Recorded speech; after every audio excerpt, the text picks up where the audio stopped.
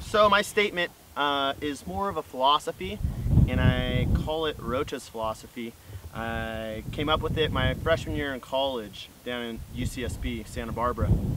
And it's two premises, one conclusion, very simple, straightforward, but I'd love to hear your guys' uh, thoughts on it. Uh, first premise, life is what you make it. Second, you only live once, or you only live this life once. And the third, make the best of it. Perfect. And you know, I've I've had that mentality, and I and I really think it's about perspective and how you see things. And you know, a lot of people complain, for an example, and are upset with themselves or upset with their lives and just live negative lifestyles. Um, but I, I feel life is what you make it. You know, they have that negative perspective.